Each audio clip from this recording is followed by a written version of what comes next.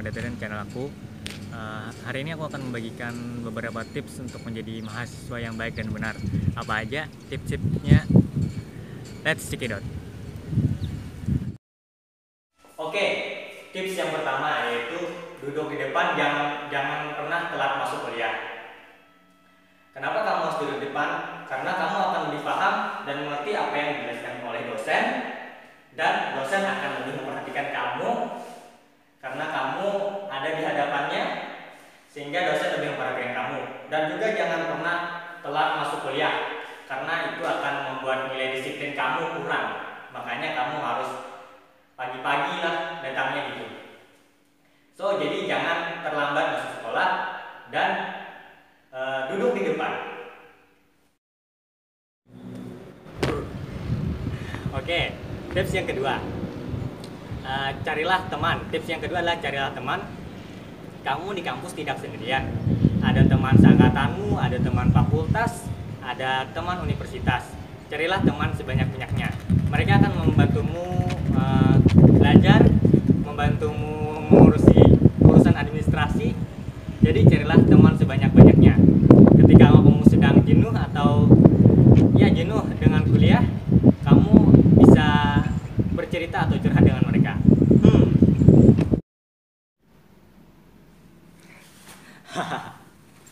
ah, oke. Okay. Tips yang ketiga yaitu tidur yang cukup. Kamu itu manusia dan manusia itu butuh tidur. Jika tidurmu tidak cukup, maka aktivitasmu bakalan terganggu. Semuanya bakalan kacau. Tidur jam 7 malam gak apa-apa. Subuh bangun jam 4.30 uh, eh, jadi hmm, maksimalnya kamu harus tidur jam 9.30 agar bisa tidur 7 jam. Nah, setelah subuh kamu tidur lagi nggak apa-apa. Tapi bakalan berbeda efeknya kamu akan merasa pusing gitu bagaimana. Uh, dan juga kalau kamu lagi sibuk-sibuknya atau banyak perusahaan, banyak organisasi, banyak laporan dan sebagainya, jangan potong waktu tidurmu itu dengan waktu dengan hal-hal yang tidak penting ya seperti bermain game, bermain IG, bermain YouTube dan lain sebagainya. Dan dan juga saat kamu bangun tidur jangan pertanyakan untuk apa kamu hidup di dunia ini. Pikirkan saja lakukan saja yang terbaik oke okay? oke okay? sip mau lanjut tidur dulu Oke, tips yang selanjutnya atau tips yang keempat yaitu ikuti organisasi. Awal-awal kuliah ikut banyak organisasi nggak apa-apa, tapi kamu tidak akan bertahan lama dengan banyak organisasi tersebut. Jadi jangan banyak-banyak ikut organisasi. Uh, organisasi di universitas ada banyak jenisnya, tergantung apa yang kamu sukai seperti ada BMKM atau BM fakultas eh BM universitas BM fakultas selanjutnya HIMA juga ada UKM UKM seperti UKM olahraga UKM seni paduan suara dan lain sebagainya. Juga ada organisasi masyarakat seperti EMM HMI kami YMNI dan lain sebagainya. Nah coba aja dulu ikuti organisasi. Biar nambah teman juga nambah pengalaman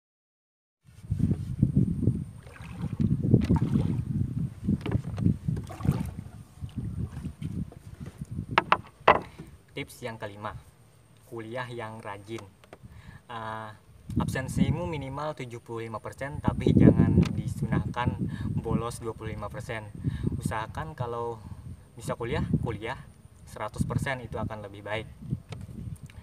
Uh, dan juga karena UKTmu itu mahal jadi jangan sia-siakan kuliah. Hmm, kuliah rajin juga akan membuatmu dikenal oleh dosen dan mudah mengerti materi. Oke.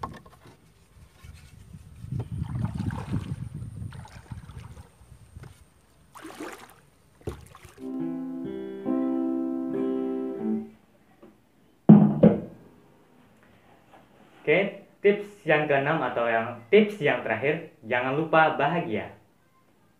Kamu kuliah itu lama. Jangan sampai kuliah yang lama itu kamu bersedih dan menderita Jangan hanya nikmati hari Minggu atau hari libur aja. Setiap hari juga bisa menjadikan momen yang menyenangkan dan membahagiakan. Setiap momen harus menyenangkan. Belajar, makan, main, rapat, kuliah, kamu harus belajar untuk menikmati itu semua. Oke? Oke. Ya,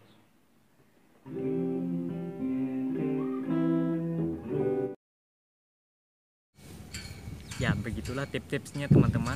Bagaimana? Jika kalian suka, like, komen, dan subscribe di channel ini. Dan see you next time.